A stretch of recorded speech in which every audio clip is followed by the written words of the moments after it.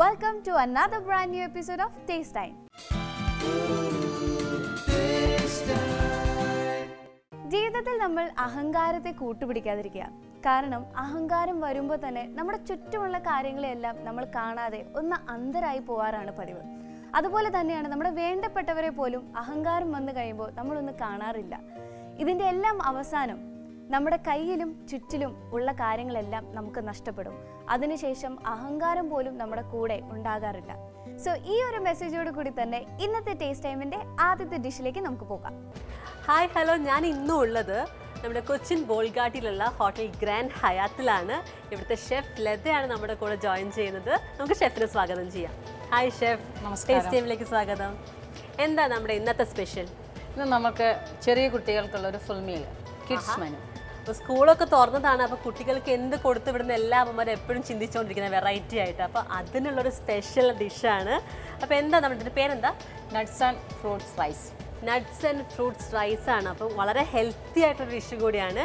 അപ്പോൾ ഇതിന് എന്തൊക്കെ ചേരുവകൾ വേണമെന്ന് ആദ്യം പറഞ്ഞു കൊടുത്താലോ? കുറച്ച് കൂടുതൽ ചേരുവകൾ ആവശ്യമുള്ള സാധനമാണ്. ബസ്മതി റൈസ് ആണ് ഞാൻ ഇവിടെ യൂസ് ചെയ്യുന്നത് ബസ്മതി റൈസ് തന്നെ വേണമെന്നില്ല. പൊന്നി റൈസ് ആവാം. നമ്മൾ കഴിക്കുന്ന റൈസ് സാധാരണ നമ്മൾ വീട്ടിൽ ഉപയോഗിക്കുന്ന ഗീ റൈസിന്റെ റൈസ് ആവാം. അതായത് jeera rice white white rice വേണമെന്നുണ്ടോ? വേണ്ട. ഏത് റൈസും നമുക്ക് ഇതിൽ യൂസ് ചെയ്യാം. ഞാൻ യൂസ് ചെയ്തിരിക്കുന്ന ബസ്മതി റൈസ് ആണ്. Salt pista crushed cashew nut fig dates coconut kismis ghee curry leaf onion salt അപ്പോൾ ഇത്രയാണ് നമുക്ക് ആവശ്യമുള്ള ചേരുവകൾ വളരെ ഹെൽത്തി ഞാൻ നേരത്തെ പറഞ്ഞ കംപ്ലീറ്റ് ഡ്രൈ ഫ്രൂട്ട്സ് ഒരുവിധം എല്ലാം നമ്മളിവിടെ യൂസ് ചെയ്യുന്നുണ്ട് അല്ലേ? അപ്പോൾ എന്താ ഏത് ഫ്രൂട്ട്സും യൂസ് ചെയ്യാം. നമുക്ക് ഡ്രൈ ഫ്രൂട്ട്സ് കിട്ടിയിട്ടില്ലെങ്കിൽ നമുക്ക് നമ്മുടെ വീട്ടിലിപ്പോൾ ബനാന ഉണ്ടെങ്കിൽ ബനാന നന്നായിട്ട് ഗീൽ സോട്ട് ചെയ്ത് ഫ്രൈ ചെയ്തെടുത്താൽ മതി. ഇപ്പം ചാക്ക് ഫ്രൂട്ട് ആണെങ്കിൽ ചാക്ക് ഫ്രൂട്ട് ഫ്രൈ ചെയ്തിട്ട് പൈനാപ്പിൾ ആണെങ്കിൽ പൈനാപ്പിൾ ഏത് ഫ്രൂട്ട്സും നമുക്ക് യൂസ് ഏത് ഫ്രൂട്ട് യൂസ് ചെയ്യാം. ചെയ്യാം ഞാനിപ്പോൾ ഡ്രൈ ഫ്രൂട്ട്സ് ആണ് യൂസ് ചെയ്തിരിക്കുന്നത്. നമ്മളിന്ന് യൂസ് ചെയ്യുന്നത് ഡ്രൈ ഫ്രൂട്ട്സ് ആണ്. നിങ്ങൾക്ക് വീട്ടിൽ അവൈലബിൾ ആയിട്ടുള്ള ഫ്രൂട്ട്സ് ഉണ്ടെങ്കിൽ അതെല്ലാം ഗീലൊന്ന് റോസ്റ്റ് ചെയ്ത് എടുത്താൽ മതി എന്നാണ് ഷെഫ് പറയുന്നത്. എന്തായാലും ഇതെങ്ങനെ തയ്യാറാക്കാൻ നമുക്കൊന്ന് കണ്ടു നോക്കാം.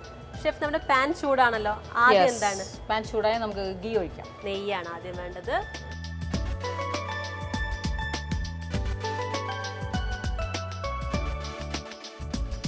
ഗീ ഒഴിച്ചു. ഷാലറ്റ്സ് ആണ് യൂസ് ചെയ്യുന്നത്. ചെറിയ ഉള്ളിയാണ് നമ്മൾ യൂസ് ചെയ്യുന്നത്. അപ്പോൾ നെയ്യ് ഒന്ന് പെട്ടെന്ന് തന്നെ മെൽറ്റ് ആയിട്ടുണ്ട്. ഇതിലേക്ക് ചെറിയ ഉള്ളി ഇട്ട് കൊടുക്കാം. ഇനി ഇവിടെ കോക്കനട്ട് ഉണ്ട്. അതും കൂടെ ഇതിലേക്ക് ചേർത്തോളൂ നാളികേരം. ആ മതി. രണ്ട് കറി ലീഫ് കറി ലീഫ് എനിക്ക് ഈ നാളികേരും ചെറിയുള്ളി കരിവേപ്പിലൊക്കെ ഇങ്ങനെ വരച്ചെടുക്കും പണ്ട് സ്കൂളിൽ കൊണ്ടുപോകാൻ വേണ്ടിയിട്ട് അച്ഛൻ എനിക്ക് ആ നാളികേര ചോറ് ഉണ്ടാക്കി തരാറുണ്ട്. അതിന്റെ ആ ഒരു കറക്റ്റ് ആ സ്മെല്ല് വരുന്നത്. ഇടയ്ക്ക് മുട്ടയൊക്കെ ഇട്ടിട്ട് അങ്ങനെയും ചെയ്യും.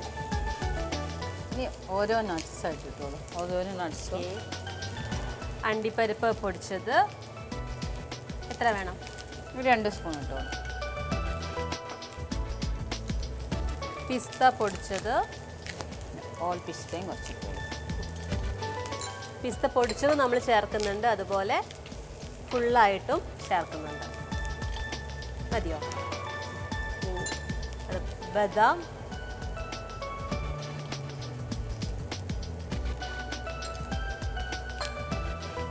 ബദാം നമ്മൾ പൊടിച്ചതും എടുക്കുന്നുണ്ട്. ക്രഷ് പീസും എടുക്കുന്നുണ്ട്.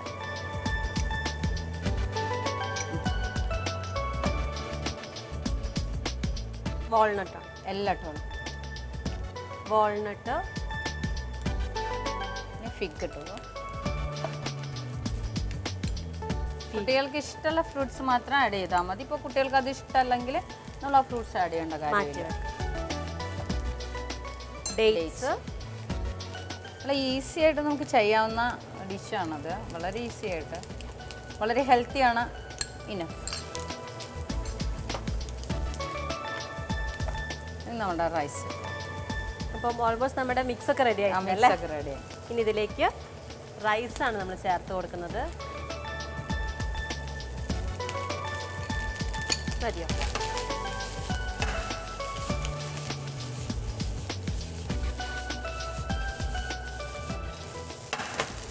മതിയാവും ധാരാളം.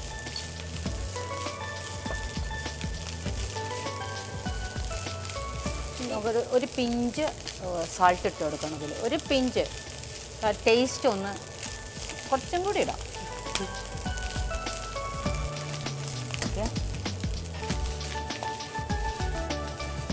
ഇതും ഷെഫിന്റെ കണ്ടുപിടുത്തമാണോ? യെസ് കുട്ടികൾക്ക് ഭയങ്കര മടിയല്ലേ? ഭക്ഷണം കഴിക്കാൻ വേണ്ടിയിട്ട്. അപ്പോൾ അത് റൈസ് പ്രത്യേകിച്ച് റൈസ് കഴിക്കാൻ വേണ്ടിയിട്ട്.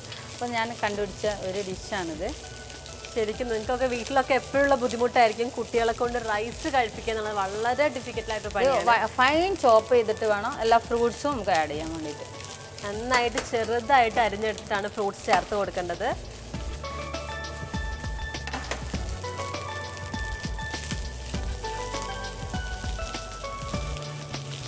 നല്ല ഫ്രൂട്ട്സിന്റെയും അതിന്റെയൊക്കെ സ്മെല്ല് വരുന്നു. അവരുടെ ടിഫിനായിട്ടും ലഞ്ചായിട്ടും.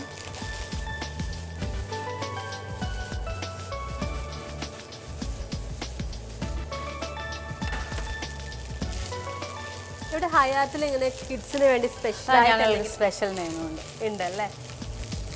ഇങ്ങനെ അധികം ഹോട്ടൽസ് നമ്മൾ കാണില്ല. അങ്ങനെ കിഡ്സിന് വേണ്ടി സെപ്പറേറ്റ് സ്പെഷ്യൽ ആയിട്ട് മെനു ഒന്നും. ഞങ്ങൾ അത് മാത്രമല്ല കുട്ടികൾക്ക് ഇപ്പോൾ താല്പര്യം. ഇപ്പോൾ ചിലപ്പോൾ ചില കുട്ടികൾ വന്നിട്ട് നമ്മൾ കുക്ക് ചെയ്യുന്നത് കാണുമ്പോൾ അവർക്കൊരു ഇൻട്രസ്റ്റാണ് എന്നാളൊരു കുട്ടി വന്നിട്ട് എന്നോട് ചോദിച്ചു ഷെഫ് ഞാൻ കോട്ടിട്ട് വന്നാൽ എന്നെ കൂട്ടാവോ? കുക്ക് ചെയ്യാൻ വേണ്ടി കുക്ക് ചെയ്യുന്ന കാര്യം പറഞ്ഞപ്പോഴാണ് ഇവിടുത്തെ നമ്മുടെ മലബാർ കഫേ എന്നൊക്കെ പറഞ്ഞപ്പോൾ റെസ്റ്റോറന്റിലെ ലൈവ് കിച്ചൺ ആണ് അവിടുന്ന് അപ്പം അപ്പം കുക്ക് ചെയ്ത് കൊടുക്കുക ചെയ്യുന്നത്. ഓക്കെ നമ്മുടെ ഡിഷ് റെഡിയാണല്ലേ അങ്ങനെ നമ്മുടെ ഇന്നത്തെ ഡിഷ് ഡ്രൈ ഫ്രൂട്ട് റൈസ് ഇവിടെ റെഡിയാണ് എങ്ങനെ തയ്യാറാക്കിയെന്ന് പെട്ടെന്നൊന്ന് കണ്ടു നോക്കിയാലോ. പാൻ ചൂടായതിന് ശേഷം നമ്മൾ ഗീ ഒഴിക്കുന്നു. ഗീക്കകത്ത് നമ്മൾ ഷാലറ്റ്സ് ഇടുന്നു. ഷാലറ്റ്സിന്റെ കൂടെ കോക്കനട്ട് ഇടുന്നു. നന്നായിട്ടൊന്ന് സോട്ട് ചെയ്യുന്നു. നന്നായിട്ടൊന്ന് ഫ്രൈ ചെയ്ത സ്മെല്ല് വരുന്ന സമയത്ത് നമ്മൾ നട്ട്സും കറി ലീഫും ഫ്രൂട്ട്സും എല്ലാം നന്നായിട്ട് മിക്സ് ചെയ്യുന്നു. മിക്സ് ചെയ്തതിന് ശേഷം നമ്മൾ റൈസ് ഇട്ടിട്ട് നന്നായിട്ട് കുക്ക് ചെയ്ത് കുറച്ച് സോൾട്ട് ഇട്ടിട്ട് പിക്കപ്പ് ചെയ്യുന്നു. അപ്പം നമ്മളെ റൈസ് ആൻഡ് നട്ട്സ് ഫ്രൂട്ട്സ് റെഡിയാണ് റൈസ് കഴിച്ചു. Thank you.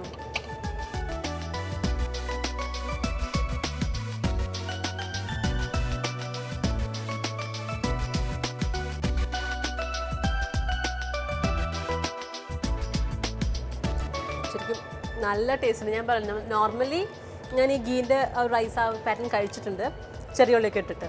പക്ഷെ അതിന്റെ കൂടെ ഈ ഡ്രൈ ഫ്രൂട്ട്സും കൂടി വന്നപ്പം അതെല്ലാം ചെറുതായിട്ട് നമ്മൾ പൊടിച്ചിട്ട് ഇട്ടിട്ടുണ്ട് മുഴുവനായിട്ട് ഇട്ടിട്ടുണ്ട്. അപ്പോൾ ആ പൊടിച്ചത് കറക്റ്റ് ആ റൈസിന്റെ കൂടെ ബ്ലെൻഡായിട്ട് ചെറിയ ചെറിയതായിട്ട് നമുക്ക് അടിക്കാൻ കിട്ടുന്നുണ്ട്. അപ്പോൾ ശരിക്കും കുട്ടികൾക്ക് പറ്റിയൊരു ഡിഷാണ് എല്ലാം ഉണ്ട് ഇതിൽ അവർക്ക് കഴി കൊടുക്കാൻ പറ്റി അവർക്ക് സ്കൂളിൽ പെട്ടെന്നൊക്കെ നിങ്ങൾക്ക് പെട്ടെന്ന് റെഡിയാക്കാൻ പറ്റുന്നൊരു ഡിഷാണ് അപ്പോൾ എന്തായാലും ട്രൈ ചെയ്ത് നോക്കുക. Thank you so much chef കാരണം ഇതുപോലൊരു സാധനം നമ്മുടെ പിള്ളേർക്ക് വേണ്ടി എപ്പോഴും നമ്മുടെ അമ്മമാർ എപ്പോഴും നോക്കുന്ന ഒരു സംഭവമാണ്. നമ്മുടെ ടേസ്റ്റ് ടൈമിൽ പോലും കത്തുകളൊക്കെ വരും പ്രഷർ ചോദിക്കുന്നതാണ്. കുട്ടികൾക്ക് വേണ്ടിയിട്ട് അവർക്ക് പെട്ടെന്ന് റെഡിയാക്കി കൊടുക്കാൻ പറ്റുന്ന ഡിഷൊക്കെ പറഞ്ഞു തരണമെന്ന്. അപ്പോൾ ഇനി ഇതുപോലത്തെ ഡിഷൊക്കെ ഞാൻ പ്രതീക്ഷിക്കുന്നു. ഓക്കെ അപ്പോൾ ആരും പോവരുത്. ഒന്നും കൂടി ഇല്ലേ നമുക്ക്? അപ്പോൾ നിങ്ങൾ വെയിറ്റ് ചെയ്യാം കേട്ടോ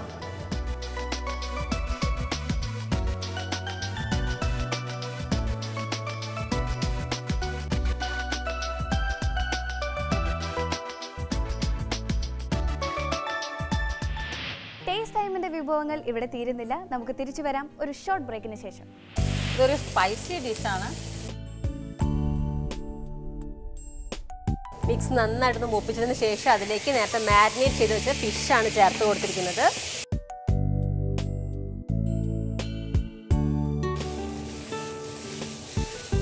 കറക്റ്റ് നമ്മൾ ആ ഫിഷിന്റെ ആ ഒരു ഫിഷ് റോസ് ശരിക്കും കഴിക്കുന്ന ഒരു ഫീൽ എനിക്ക് കിട്ടി.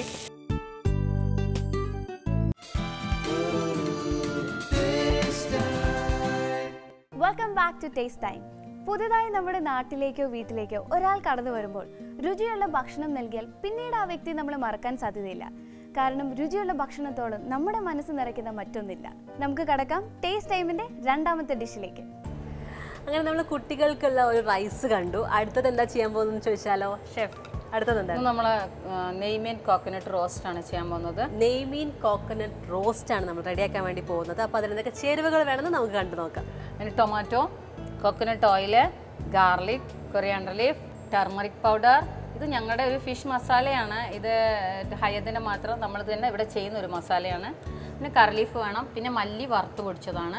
Salt ginger lemon onion chilli കാക്കിന്റെ പിന്നെ നമുക്ക് നെയ്മീനും ആവശ്യമുണ്ട്. അപ്പോൾ ഇത്രയാണ് നമുക്ക് ആവശ്യമുള്ള ചേരുവകൾ നമുക്ക് തുടങ്ങിയാലോ? ആദ്യം എന്താ? ആദ്യം നമുക്ക് ഇതൊന്ന് മാരിനേറ്റ് ചെയ്യാം. ഫിഷിന്റെ മാരിനേഷനാണ് ആദ്യം. ഫിഷ് നമ്മൾ ഫിഷ് എടുത്തു. ഇതിലേക്ക് ലൈം ജ്യൂസ് വേണം.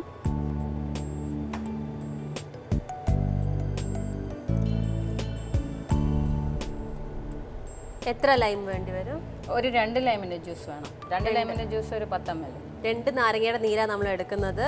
എത്ര ഫിഷ് ഉണ്ട്? ഇതൊരു മുന്നൂറ്റി അമ്പത് ഗ്രാം ഫിഷ് ഉണ്ട്.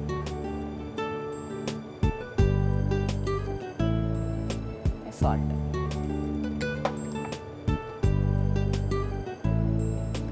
പാകത്തിന് ഉപ്പ് ടെർമറിക് പൗഡർ മഞ്ഞൾപ്പൊടി മതിയോ?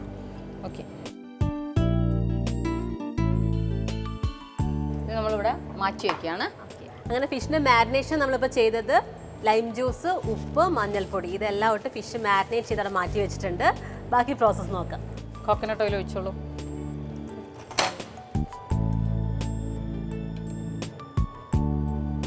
എത്ര വേണം വെളിച്ചെണ്ണ?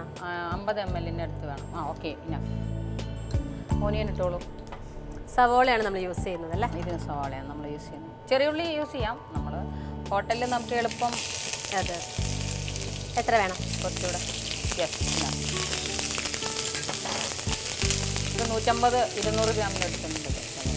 സവോള നന്നായിട്ട് റോസ്റ്റ് ആയിട്ട് വരണോ? എങ്ങനെയാണ് വേണ്ട സവാള ഒന്ന് സെമി റോസ്റ്റ് ആവണം. പകുതി റോസ്റ്റ് ആയി കഴിയുമ്പോൾ സവാളയ്ക്കകത്ത് നമുക്ക് ഇഞ്ചിടാം ഇഞ്ചി. വെളുത്തുള്ളി. മഞ്ഞൾപ്പൊടി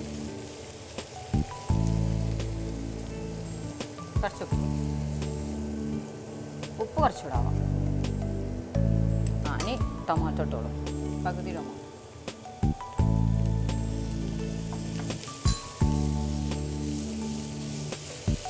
ഇതൊരു സ്പൈസി ഡിഷാണ് നല്ല സ്പൈസി ഉള്ള ഡിഷാണ് നമ്മൾ മുളക് പൊടി ഇപ്പോൾ ഇവിടെ കാണുന്നില്ല. അപ്പം മുളക് പൊടി ഓൾറെഡി മസാലയിൽ അത് മുളക് പൊടി അത് ശരിക്കും ആക്ച്വലി മുളക് സൺലൈറ്റിൽ ചൂടാക്കി കറി ലീഫ് വറുത്ത് ഉലുവ പെപ്പർ ഇതെല്ലാം ഇട്ടിട്ട് പൊടിച്ച് വെച്ചിരിക്കുന്ന പൊടിയാണ്.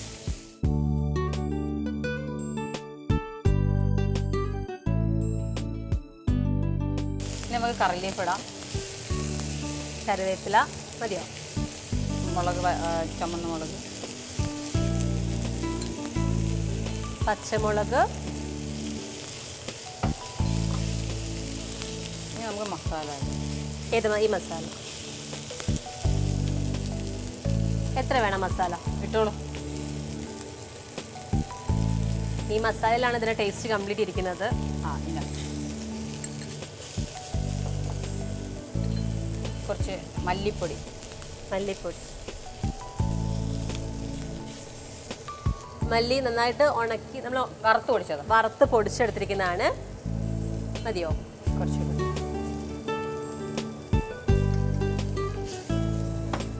നമ്മൾ മിക്സ് നന്നായിട്ടൊന്ന് മൂപ്പിച്ചതിന് ശേഷം അതിലേക്ക് നേരത്തെ മാരിനേറ്റ് ചെയ്ത് വെച്ച ഫിഷാണ് ചേർത്ത് കൊടുത്തിരിക്കുന്നത്.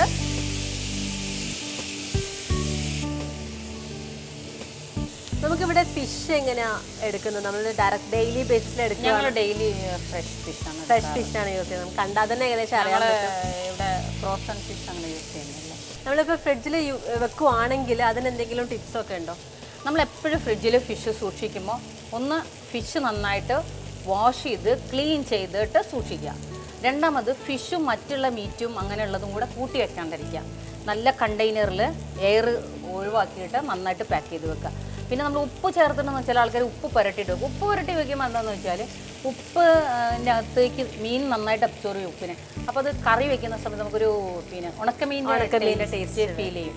അത് വരാതിരിക്കാൻ വേണ്ടി നമ്മൾ നന്നായിട്ട് കഴുകിയിട്ട് വൃത്തിയാക്കി കഴുകിയിട്ട് കറി ലീഫ് ഇട്ടിട്ട് വയ്ക്കുക അപ്പോൾ ഫ്ലേവർ മാറത്തില്ല.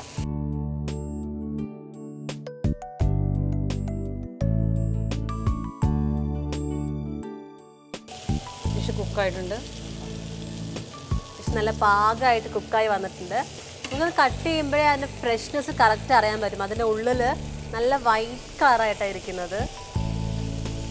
അതുപോലെ മസാലയൊക്കെ നന്നായിട്ട് പിടിച്ചിട്ടുമുണ്ട് ഒന്ന് അടച്ചു വെച്ച് വേവിക്കുകയാണെങ്കിൽ കുറച്ചുകൂടെ നല്ല അപ്പോൾ നമ്മൾ വെള്ളം ചേർക്കണം. വെള്ളം നമ്മൾ ചേർക്കണം. വെള്ളം ഒന്ന് ഇതാണ് നമ്മളൊന്ന് വേണമെങ്കിൽ ഒന്ന് ഒന്ന് കുടഞ്ഞു കൊടുത്തോ ഒന്ന് കുടഞ്ഞു കൊടുത്തിട്ട് കുറച്ച് നേരം അതെന്തിനാന്ന് വെച്ചാൽ ആ മസാല അതിന്റെ ഉള്ളിലേക്ക് കയറാൻ വേണ്ടി കയറാൻ വേണ്ടിയിട്ട്. അപ്പോൾ ഇതൊന്ന് കുറച്ച് വെള്ളം ഒന്ന് അതിന്റെ മുകളിലായിട്ട് കുടഞ്ഞു കൊടുത്തിട്ട് ഒന്ന് മൂടി വെച്ച് വേവിക്കുകയാണെങ്കിൽ നല്ല പാക നല്ല കറക്റ്റ് ആ ഒരു പ്രോപ്പർട്ടീസ് നമ്മൾ പാത്രപ്പരുവം എന്നൊക്കെ പറയില്ലേ ആ ഒരു പരുവത്തിലായി കിട്ടും.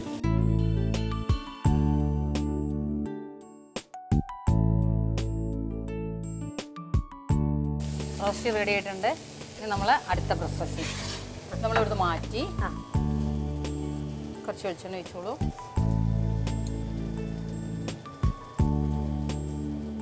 എത്ര വേണം? മതി മതി. ഇനി ആ കോക്കനട്ട് ഇട്ടോളൂ. അതിന്റെ പകുതി കോക്കനട്ട് ആഡ് ചെയ്തോളൂ.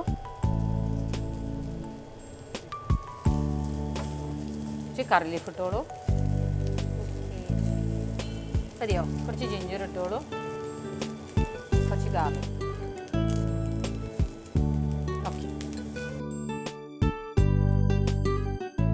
നന്നായിട്ട് റോസ്റ്റ് ആവണ്ടേ? ആ നന്നായിട്ട് റോസ്റ്റ് ആവണം. ഇത് ആദ്യം നമ്മൾ ഇതിൽ റോസ്റ്റ് ചെയ്ത് ചേർത്താൽ ഇതിന്റെ ക്രഞ്ചി ടേസ്റ്റ് ആ മാറിപ്പോവും. അതിനാണ് പിന്നീട് ലാസ്റ്റ് ഇത് പിക്കപ്പ് ചെയ്യുന്നതിന് ആ സമയത്ത് നമ്മൾ ഇത് ചേർക്കുന്നത്. ഇത് ഏകദേശം ഗുഡ് കളർ ഒക്കെ നമ്മളെ ഗോൾഡൻ കളറായി നമ്മളിതിലേക്ക് കുറച്ച് മല്ലിയില കട്ട്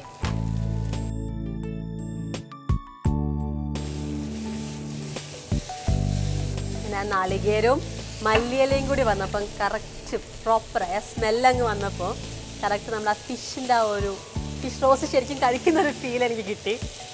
ഇത് കഴിച്ചു നോക്കിയിട്ട് അങ്ങനെ ടേസ്റ്റും കൂടി അറിഞ്ഞാൽ മതി.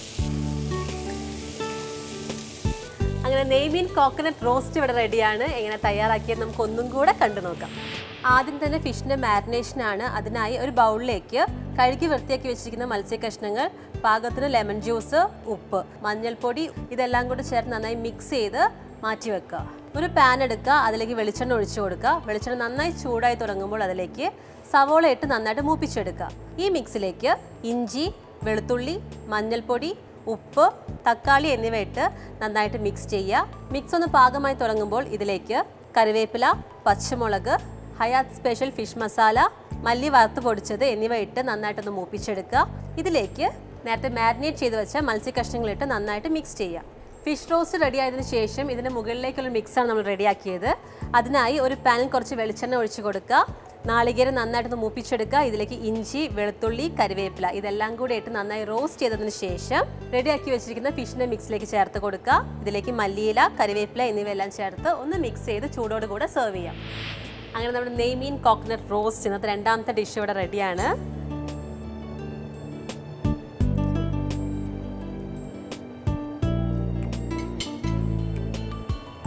നോർമലി ഉണ്ടാക്കുന്നതെന്ന് ആ ഇവിടുത്തെ ഒരു സ്പെഷ്യൽ മസാല എന്ന് പറഞ്ഞല്ലോ. ആ മസാലയുടെ ആ വ്യത്യാസം കറക്റ്റായിട്ട് ഈ ഡിഷിനെ അറിയാനുണ്ട്. നമ്മൾ സ്ഥിരം കഴിക്കുമ്പോൾ അധികം തക്കാളിയുടെ പുളിയും അങ്ങനത്തെ ഫിഷ് റോസ്റ്റ് എന്ന് പറയുമ്പോൾ എപ്പോഴും അതായത് കുറേ ടൊമാറ്റോ ഒക്കെ ഇട്ട് സോട്ട് ചെയ്ത് ഓനിയൻ കുറേ സോട്ട് ചെയ്ത്. അപ്പോൾ ഓനിയന്റെ സ്വീറ്റ് സ്വീറ്റ്നെസ് സ്വീറ്റ് ഒന്നും ഉണ്ടാവില്ല. അതിൽ ആ ഒരു സ്പൈസസിന്റെ അതായത് മല്ലി മുളക് കുരുമുളക് അതിന്റെ ആ ഒരു ടേസ്റ്റ് മാത്രമേ അപ്പോൾ എന്തായാലും ഷെഫ് ഇന്ന് ഉണ്ടാക്കിയ രണ്ട് ഡിഷും നമ്മുടെ പ്രേക്ഷകർക്ക് ഇഷ്ടപ്പെടുന്നതിൽ ഒരു ഡൗട്ടും ഇല്ല. ഇനി ഇതുപോലത്തെ സ്പെഷ്യൽ ഡിഷൊക്കെ ആയിട്ട് വീണ്ടും വരണം കേട്ടോ. താങ്ക് യു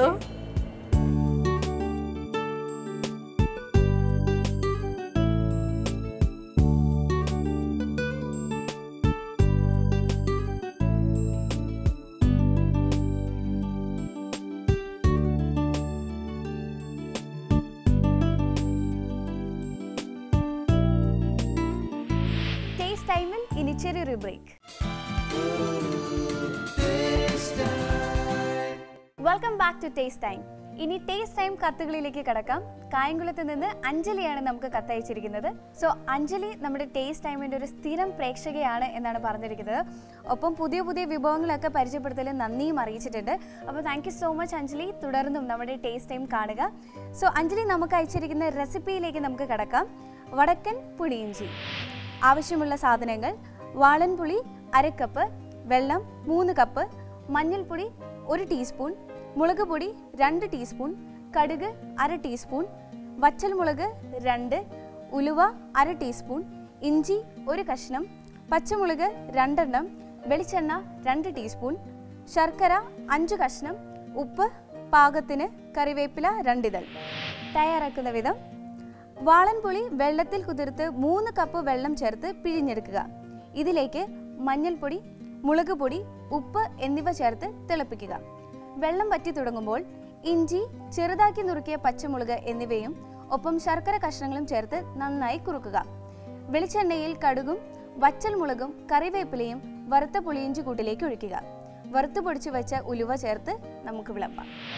ഇനി നിങ്ങളുടെ റെസിപ്പീസും അഭിപ്രായങ്ങളും ഞങ്ങൾക്ക് എഴുതി അറിയിക്കേണ്ട സമയമാണ്. എഴുതി അറിയിക്കേണ്ട വിലാസം to the producer taste time Asianet communications limited N H bypass junction Palarivattom Kochi six eight two zero two five അഹങ്കാരം എന്നത് നമ്മുടെ കയ്യിലുള്ളത് മാത്രമല്ല നമ്മളെ തന്നെ നശിപ്പിച്ചു കളയും. ഇത് സത്യം പറയാൻ നമ്മുടെ തലയിൽ അങ്ങ് കയറി കഴിഞ്ഞാൽ പിന്നെ നമ്മൾ ചെയ്യുന്നതും പ്രവർത്തിക്കുന്നതുമായ കാര്യങ്ങൾ നമുക്ക് തന്നെ ഒരെത്തും പിടിയും കിട്ടില്ല. അഹങ്കരിച്ചു കഴിഞ്ഞാൽ നമുക്ക് ആർക്കും നല്ലതായി ഒന്നും തന്നെ ചെയ്യാൻ സാധിക്കില്ല. ചെയ്താൽ തന്നെ അത് അഹങ്കാരത്തിന്റെ നിഴലിൽപ്പെട്ട് മറഞ്ഞു പോകാറാണ് പതിവ്. സോ എത്ര ഉയരത്തിലെത്തിയാലും നമ്മൾ എല്ലാവരും അഹങ്കരിക്കാതിരിക്കുക. ഈ ഒരു മെസ്സേജോട് കൂടി തന്നെ ഇന്നത്തെ ടേസ്റ്റ് ടൈമിന്റെ എപ്പിസോഡ് ഇവിടെ അവസാനിക്കുന്നു. മറ്റൊരു എപ്പിസോഡുമായി ഞങ്ങൾ വീണ്ടും വരുന്നതായിരിക്കും. Till then take care bye Taste